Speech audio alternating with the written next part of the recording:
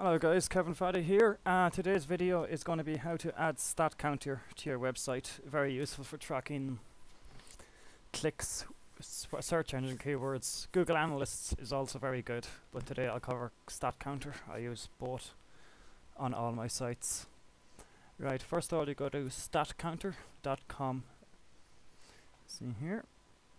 And once you, it takes two, two minutes to open an account and click add new project.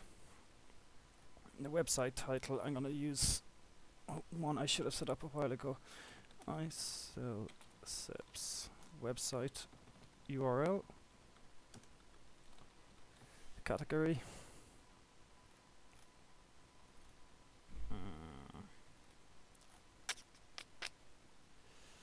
category would be computers and internet. GMT you can leave everything as standard, just click next. Just make sure you fill out a category. Click and install code. Configure and install code. Um, I, in general, use invisible counters. So choose that option. Click next. Default installation guide, yes. Click next for most projects there will be. And you're provided with the code. Just copy the code, follow the instructions on screen.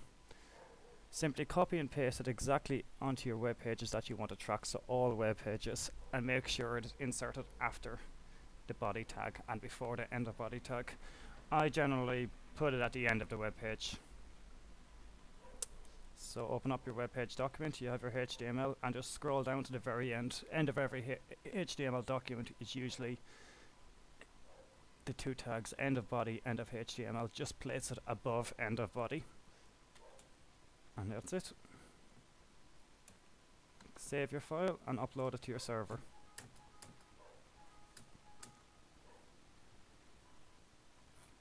You'll see there'll be nothing showing on the page.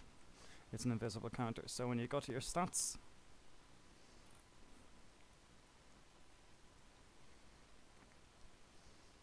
you'll see this is not that project, but it's new. You'd be able to see where the links are coming from, how often they're coming in from. And what I like about this is the recent visitor map. You can see where most of your visitors actually originate from easily and quickly. As you can see, I like to cover, I've covered most of Europe and America with this. Um, okay, any questions? Get me on Skype, Kevin Fahey 535 K E V I N F A H E Y 535. Thank you.